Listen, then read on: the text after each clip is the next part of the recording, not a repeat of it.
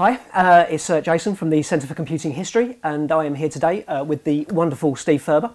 Um, normally it'd be Professor Steve Furber, um, but today he's the wonderful Steve Furber because he is uh, donating uh, to the museum uh, a couple of very, very important machines um, in terms of the history of the BBC Micro, in terms of Steve's history.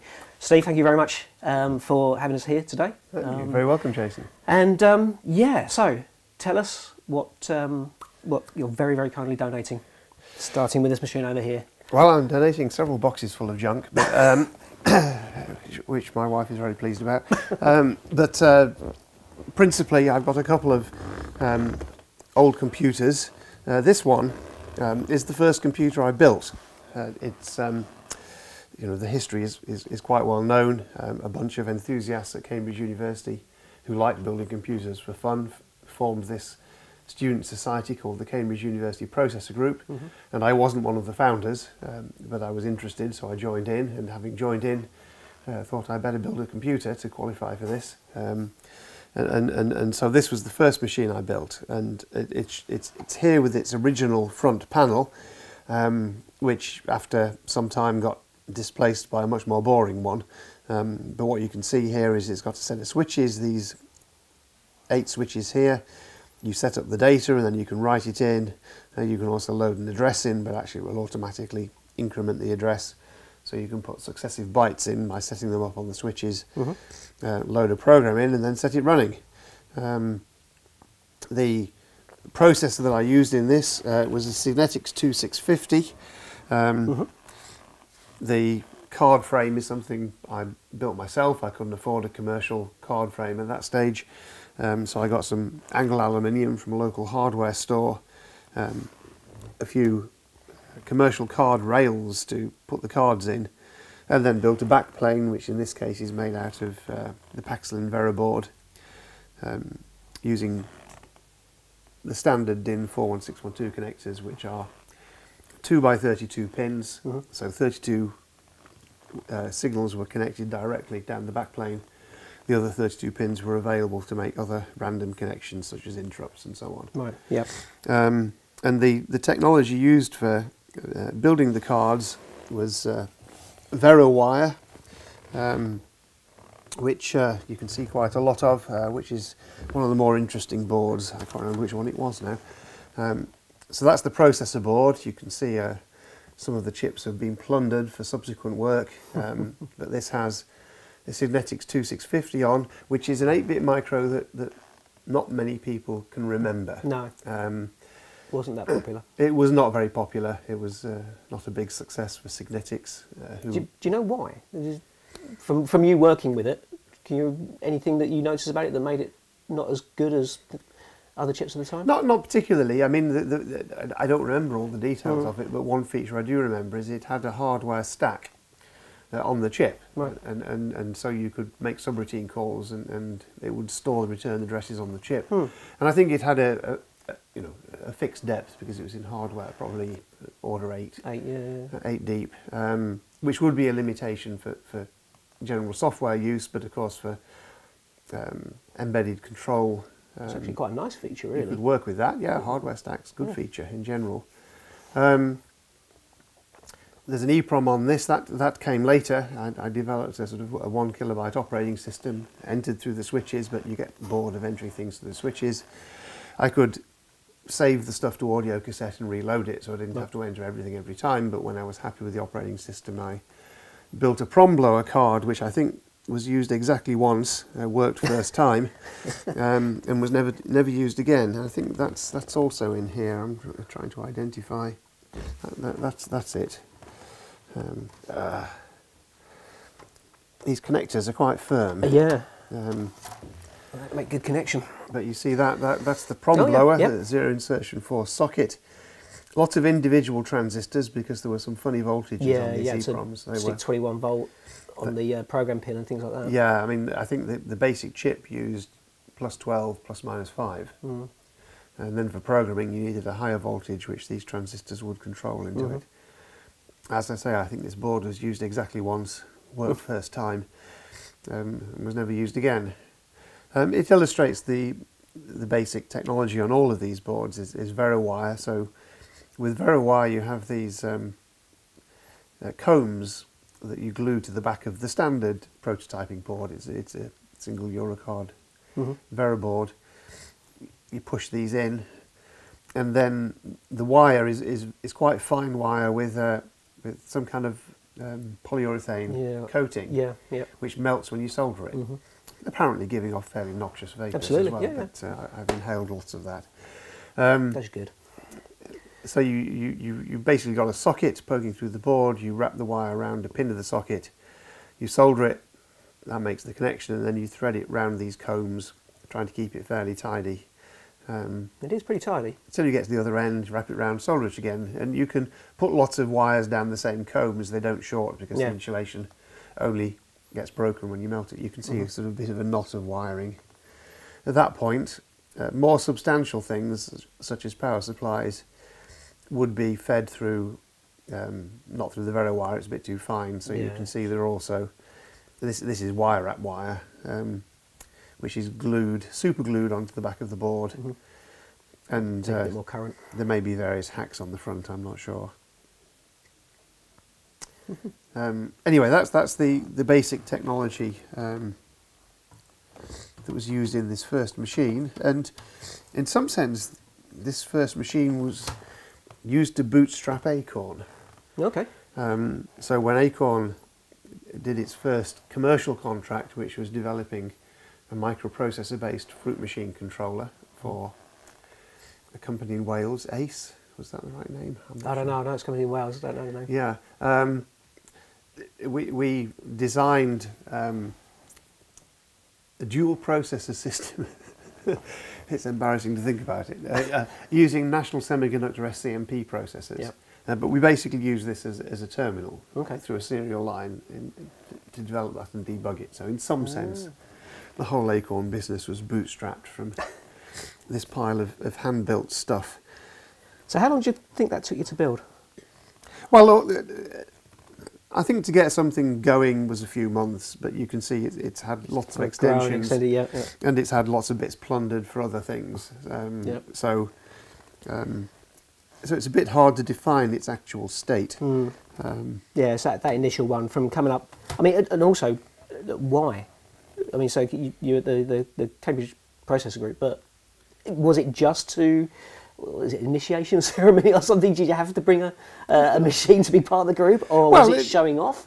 Or was it actual, um, you know, I, I don't know. What, what was the reason you would go about building this at that time?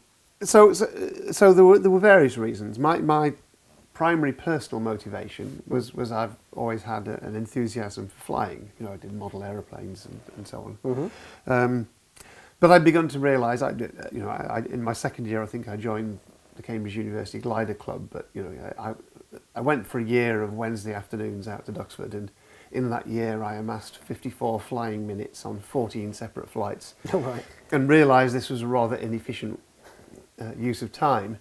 So I thought, well, maybe you know, you could build some kind of flight simulator. Um, Oh. and it was really that, that idea that, you know, if I understood a bit more about computers, I was using them a bit. I was a fluid dynamicist at the time. My, my PhD's in fluid dynamics. Uh-huh. And I had a research, I was Rolls-Royce Research Fellow, Yep. again in fluid dynamics. Mhm. Um, so I was using computers, but, but they were all dedicated to these experiments. I thought, well, maybe this technology is something I can use to build flight simulators and get my flying kick um, uh, through that route. And and then I started building these things, and then actually the interest moved to the computers themselves Mm. because the technology had only just got to the point where you know somebody on a student grant could afford to buy enough stuff to actually build. Mm. Um, And but although it, it was still quite expensive, though. it was still quite expensive, and some of these things, some of these chips were ordered from California. Shops in California were Mhm. selling to hobbyists. You could order them on a credit card. Now, Right. credit cards were fairly frightening, Uh, yeah. uh, running on student budget. So yes, it was. A It, student with a credit card. It was not that common. Unheard yes, of. in those days. Um, but yeah, so so uh, the focus moved to the computer. Um, uh, but of course, in some sense, eventually, uh, through this and the next machine we're going to talk about, and the BBC Micro, um, we eventually got to this, which I felt really sort of closed the circuit on my uh, on my flying ambitions, this is this is Aviator, which I thought was just a brilliant program. I mean, this Oh, it worked. this did this eff- effectively implemented my my dream about uh, eight years later, um, and I could fly this Spitfire. You know, I could do inverted loops under the bridge and things like that on on Aviator. So. Um, So this is a revelation. Then. So your whole input to, to the microcomputers, the BBC micro, was all towards Aviator.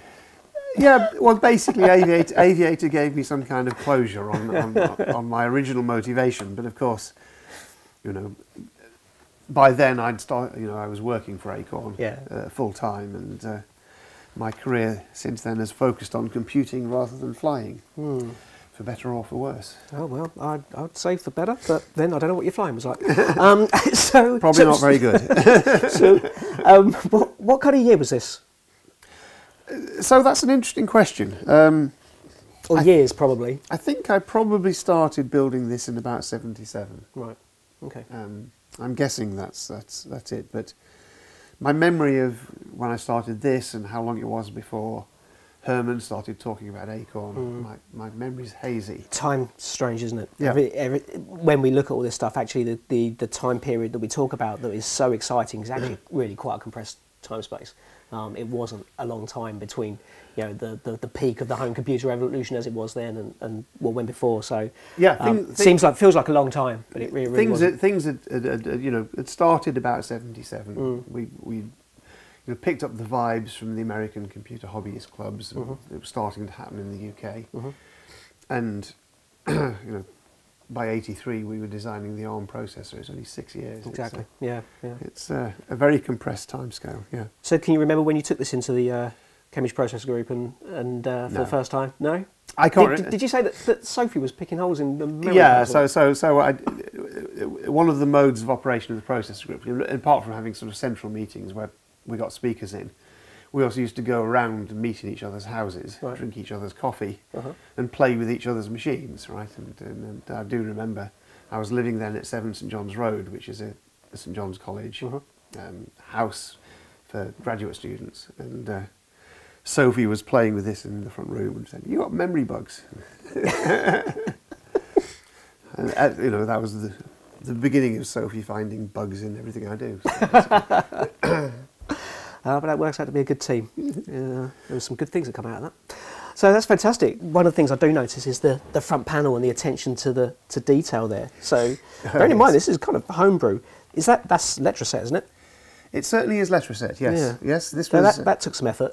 I, spent a long time doing similar things with, with front panels, yeah. and the Letraset not quite sticking right sometimes. And uh, It wasn't easy. I, uh, I mean, it's an aluminium panel which Uh-huh. which I cut to size and made made the relevant holes in and the screws. I then anodized it in the kitchen sink, which I think meant sticking it in. Was it sodium hydro- hydroxide? uh, whatever it was, it wasn't nice. It was something, well, it, but it is something you use as a drain cleaner. Hmm. So when I finished Okay. with it, all it did was go and clean the drains as intended, and that gave the aluminium a, a, more adhesive surface than basic aluminium. Mhm. Then I put the Letraset on, and then it was sprayed with with Letraset fixer. I think. Yeah, get- you, get did an have to lacquer it. Yeah. which, Yep. which which gave it a, a sort of layer of matte lacquer, Yep. which which looks quite nice, and and you know it's still there, forty years later. Yeah. So it clearly works.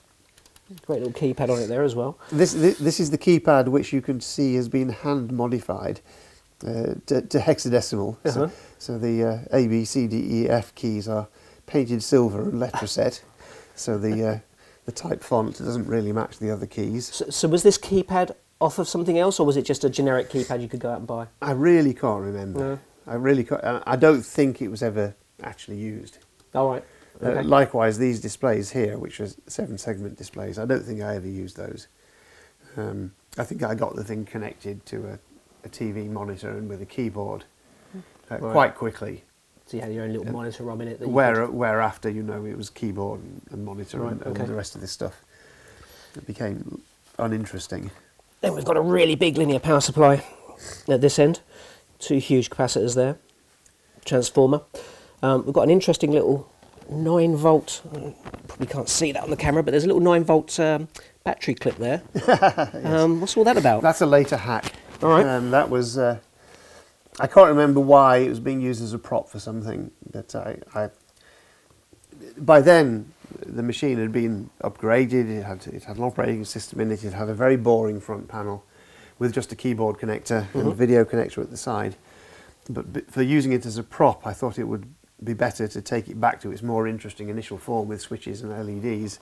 Certainly Uh, but I couldn't make everything. You know, I, could, I couldn't get it working in that form, so I, I cheated, put a nine volt battery on there, and then with that you, you could flick the switches and various things would light up, and it would you have lights on, which is more interesting. Can't remember what what it was you being used as a prop for. No, I can't. No, No? no. I, I really have no idea. Right, somebody's gonna have to scour. But yes, it, it, it, you know, switch mode. Uh, I mean, linear power supplies were big. Um, a lesson we had to learn again for the BBC Micro. Um, it's got a healthy transformer, a lot of taps on that. Healthy bridge rectifier. Yes, I'm not using most of them, I don't think. Yeah. It's just 5 volt and 12, is it? Oh, no, you would need other ones for your EPROM it's probably as well. plus minus 5, plus yeah. 12. Mm -hmm. uh, and it's Something. like a, homebrew tap on there as well. Yeah. into the... I don't know what that is. I, I, think it may be because one of the connections broke. Ah. And I had to find a way to, uh, to get back into it. Mm -hmm. And a huge heatsink at the back with a 7805H. 05 or something. Yep, I'm not. a high power one. Those are on the inside, so I Mm. can't actually see what see what they are. Um, Big TO3. Oh they're no, not actually, actually. they're not actually. No. Those aren't TO3s. They're They- the. Uh, LM317s or something they're, like they are the smaller tab tab based Right. um, Well, that's fantastic. linear power supplies. Yeah. Well, so that, that's that's a, a fantastic addition to the collection. Thank you very much. It's going to um, go on display. If anybody ever gets this working again, I'll be completely staggered. I think See, that's you know that's the that's a challenge. You know what you're doing there. Um, I do know what I'm doing. we yes. we have some fantastically uh, stubborn volunteers. Um, they're also quite clever. So we will see. We will see. We'll have to find out if we can get data off the EEPROM for a start. We'll we'll read that out, um, and then start from there. Start, Will you? Okay. Start start hacking and reverse engineering from there. Yeah, I really, I really think this is this has been modified and raided for components. Uh, Oh, well. probably an order of magnitude too many times for We can but try. I don't know. breathing life into it to be a realistic prospect.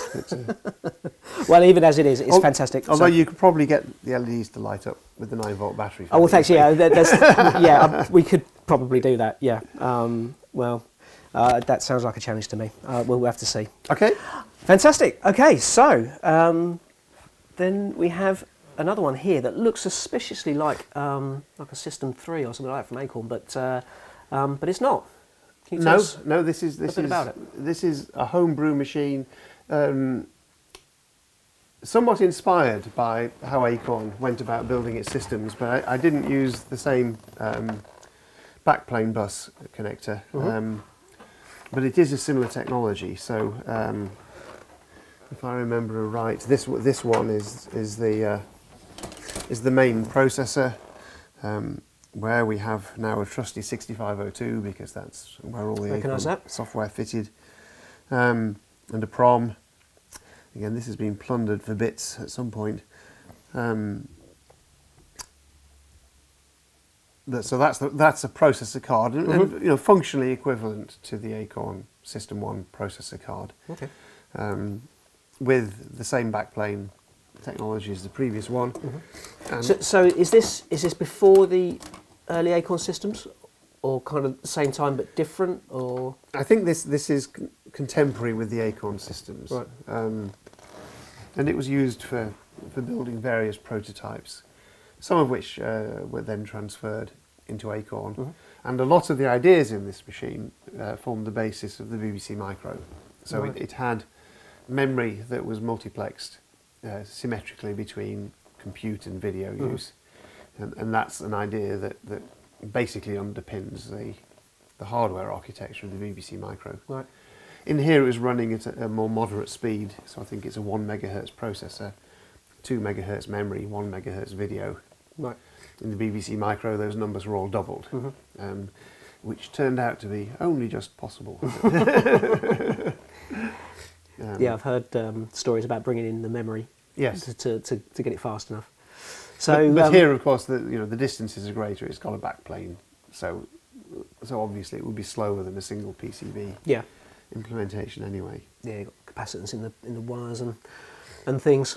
So um, so it's six five oh two. Um, similar kind of build to um, the Signetics machine that you've just shown us there. Um, but it's not just a six five oh two, is it?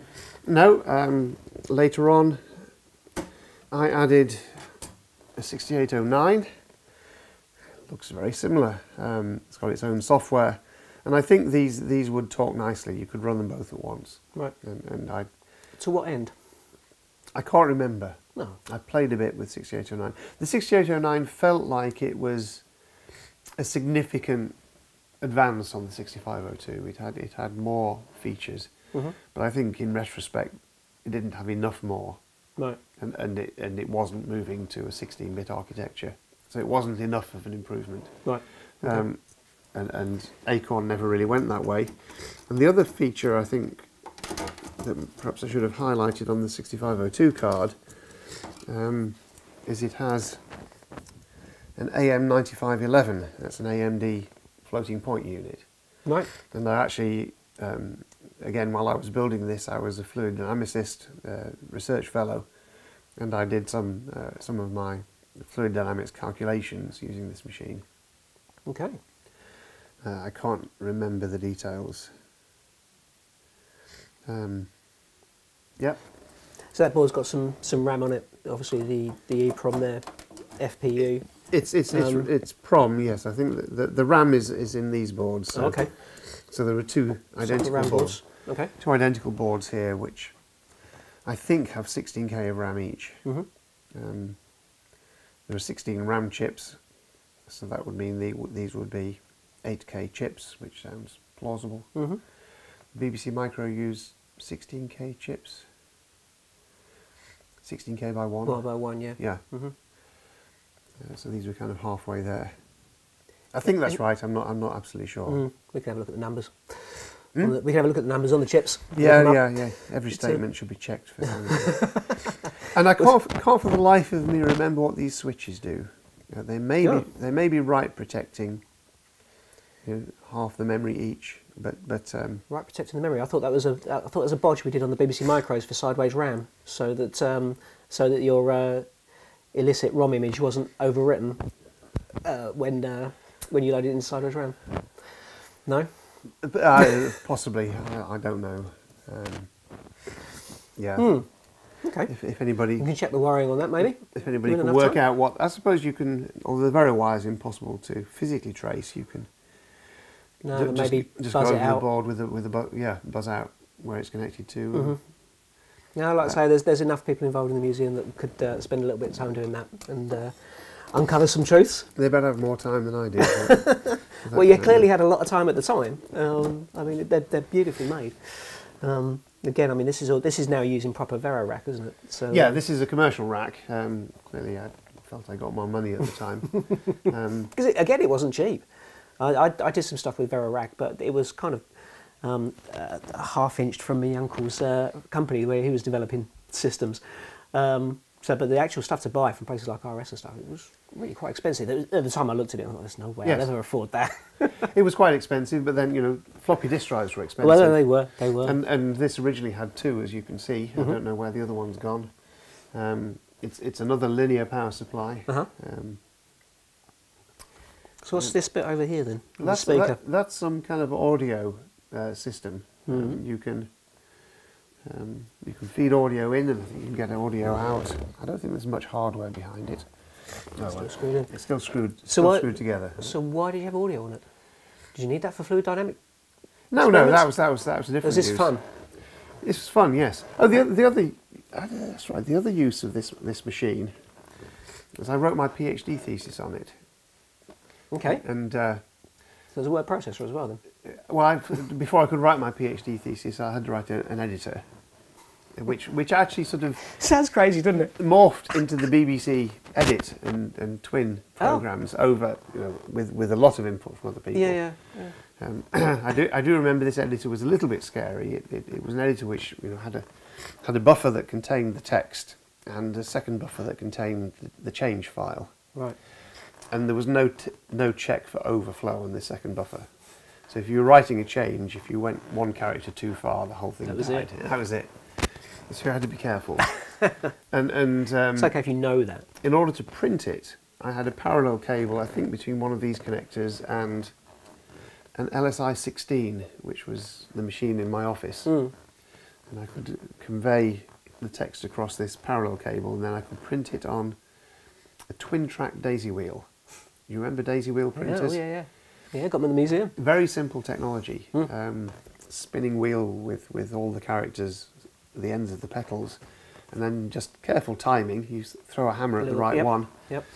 And mine was twin track because I had quite a lot of Greek, being a somewhat mathematical Right. thesis. Okay. And, and uh, so I had two heads which would rotate back and forward. So my thesis, I think I was one of the first to generate a thesis on a computer. Right. At that stage, most people still wrote them by hand Yeah. and then gave them to a secretary to type. And uh, my, my thesis came off as about 300 feet of continuous paper out of this daisy wheel, which I then had to slice up and put together. Impressive. I, I didn't know there was a, uh, a daisy wheel actually that had two heads on it. I haven't seen that one. But, um, Yep. well, okay. Well, the engineering department had one or two of them. Oh, actually, maybe it was in the maths department. Yeah. Mm. Well, so then we've got the, the, the keyboard up there. Um, Yes, I think uh, that's again that's a sort of it's a commercial keyboard unit, but Mm. in a I put it in a box and there's probably some interface electronics in there. I don't know. I haven't looked for a long time. Um, and that yeah, ju- judging by the number of wires, yeah. Yeah, the, the Yeah. will be sort, sort of an 8 bit output from it. Yeah. What I don't know is if it, if it's if this is in any way similar to the BBC Micro, which which basically use software scanning, Mm. and Mhm. that that plugs in there the right way up. Fantastic. And typically, I'd, I'd have um, I had a little Hitachi nine-inch monochrome monitor, Mm. which would sit on the top and feed off that, Mhm. and, and, and that was basically how this machine was used. So this is the graphics part of it. You got was it a Yeah. six eight four five Yes. chip in there? The Right. same as on the BBC Micro. Yeah, yeah. And uh, you know, I was, I was using quite a lot of Acorn software on this as well, so I think it, it, it will run an Acorn Basic and Wow. and uh, I also ran Lisp on it. I seem to remember. Uh-huh. No idea how. Have we got any software that was on it, or is it just the, the hardware? I'm not aware that I've still got any software that ran on it. Okay. Well, if you find any discs with I do have- probably with no labels on. I do have a few boxes of, of uh, five and a quarter inch discs that uh, Well, that's- that may have something germane on them. Right. It's always hard to tell. Yeah, well, absolutely, absolutely. Well, I mean that that is that is absolutely brilliant. So we, we have here really sort of the, the genesis uh, of the, the BBC Micro, um, going from the so so is that the, the the Signetics machine? That is that your first absolute first sort of Yes. attempt at creating any kind of Yes, I mean if, if you if you look at you know my, my hand built computer history, Mm. then it's these two machines. But of course they're not just I made this, then it worked, and then I made this. Mm. Both of them were were machines that evolved over time and got new functions. yeah yeah then got plundered uh, for bits do, to build yeah. the next one. hmm Uh, so, so neither of them is a single machine. Um, they, they've each been through a number of various iterations. Yeah, yep. And, the, and I mean, the technology at that time was, was, was particularly amenable to this kind of hobbyist Mm. approach.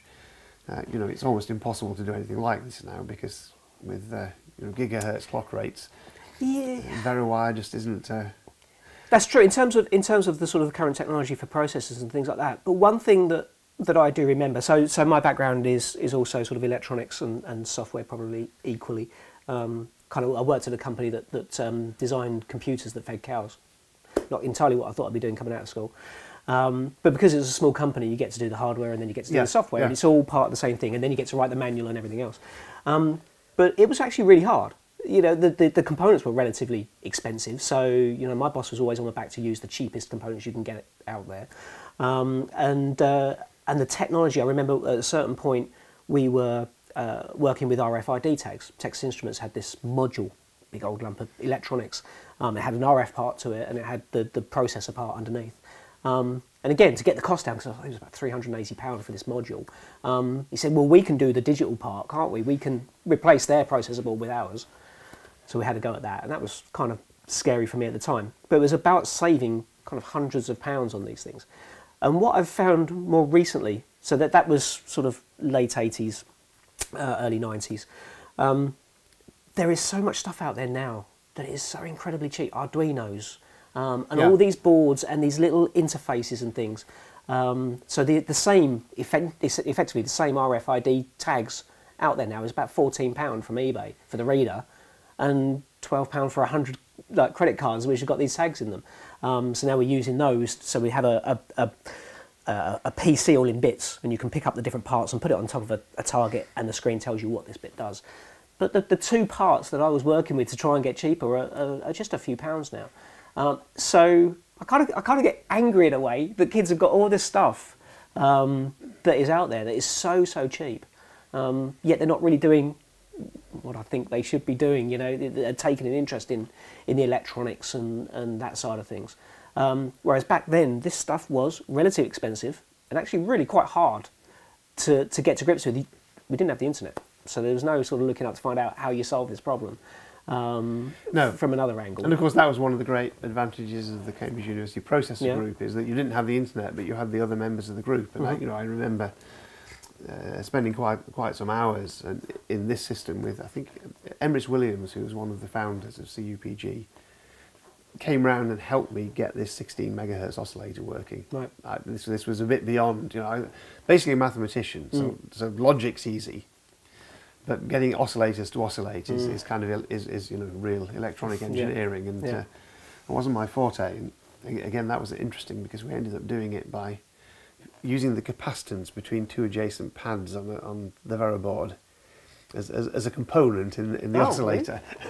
wow, that was some fine tolerance. Yeah, yeah, it was. Uh, but as I say, the, the, the main point is you, you you didn't have the internet, but you did have other people. Yeah, yeah, but then, but they were a, a small group of people, and if you didn't have access to that, you were kind of on your own. Oh, yes, you, yes, you were you know referring to the manuals all the time, and I, yeah, I don't know. It's just that I do think that um, you know people say that you can't do this sort of thing, and, and no, in, in terms of current technology, no, you're not going to build yourself a PC or a, you know No. an iPad. But there is a lot of stuff out there that kids can play with and just get to grips with this whole stuff. Um, And of course, you know, Raspberry Pi and, and, and the BBC Microbit have Yeah. been very much playing into Yep. that. I think I think quite effectively. I mean, I think oh, definitely, definitely. Think I'm Um, impressed with, with, with where they and, and you know before even before that there were PIC microcontrollers Yep. which were, Oh, I spent a lot of time with PICs. There's a bit of enthusiasm fantastic. you could buy a PIC kit from Maplins for Mhm. twenty quid and Mm. go and make something work. Yep, yep, no, that's true. Um, yeah, there is a lot out there. It's just we're trying to get, um, well, the museum, like you know, is trying to get kids engaged in, on more the electronic side of things. Um, I think uh, we have a, sort of a strong lean towards that. Um, but but that's this is fantastic. Um, I, uh, thank you very much for, for the donation. It's an important part of our collection now, um, and uh, they will be cherished. So Right. good Can I stuff. say the, the, the last time I actually had this connected and powered up, it worked. Now that is probably 20 years ago. But I, I, I think there's a reasonable chance that you can. Well, it hasn't got a switch mode power supply, so the the uh, metallized capacitors aren't going to explode on us. That's a, that's Yeah. a good start. There's a reasonable But, um, chance you'll be able to breathe life into that one. Okay.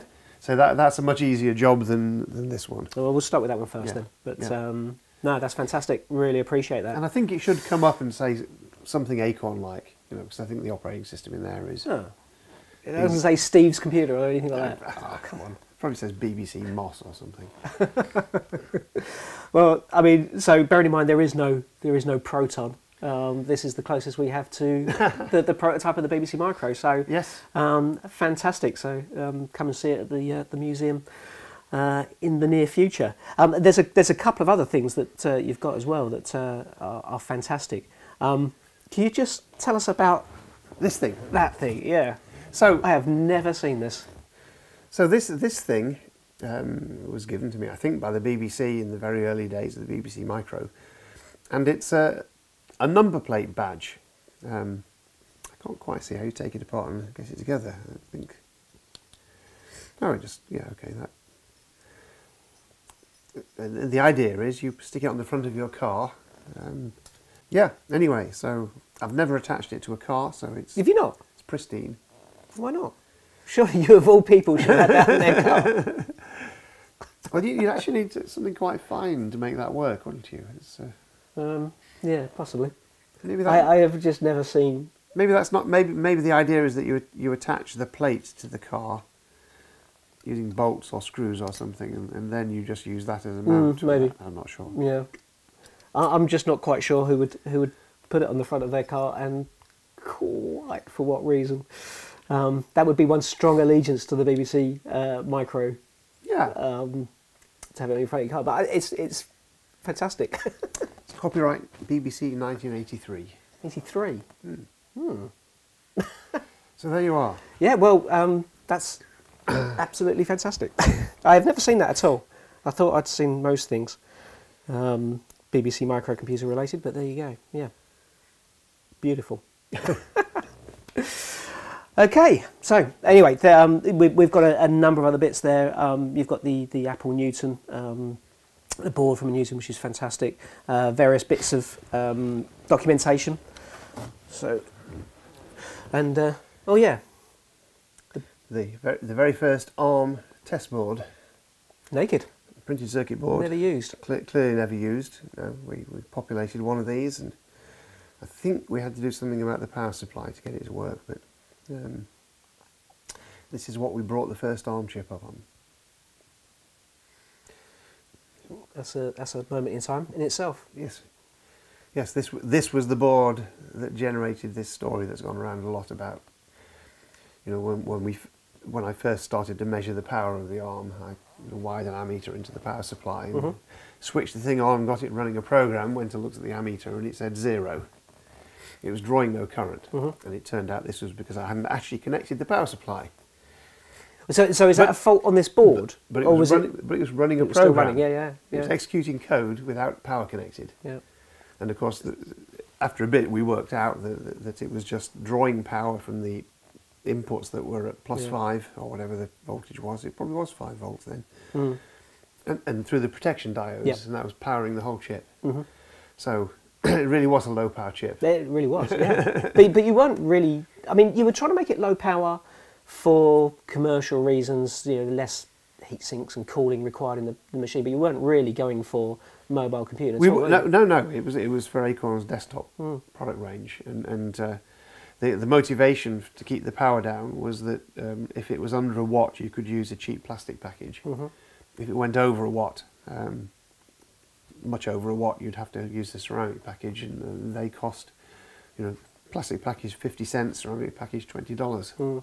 Yeah. and um, the tools we had to actually predict the power um, were not very uh, reliable, and so we just sort of used Victorian engineering principles, and when we measured it, it was running at under a tenth of a watt. Mhm. So the plastic package was no problem, no heatsink required. Fantastic. So, so was the um, power supply problem just a, a wiring problem from outside the board, or Yeah, was I there a just- fault on the board? I just I just messed up connecting it. I mean, I just failed to make the last connection. So, um, And then we've got a, a, a BBC Micro bare, bare board there as well. Um, yeah, So that's interesting. Somebody out there might know the reasons why. Um, I've already asked you, and you don't know. I hadn't realised Um, this was as interesting as you think it Well, is. well, I mean, ma- maybe it's not, but I haven't seen an issue C. That's all. Um, you know, they were numbered, and uh, there's a there's a couple of things that are interesting about it because it's kind of like a, an issue seven. We have S39 at the top there, which um, uh, turns the composite video output to be colour, um, and therefore a little bit slightly fuzzier.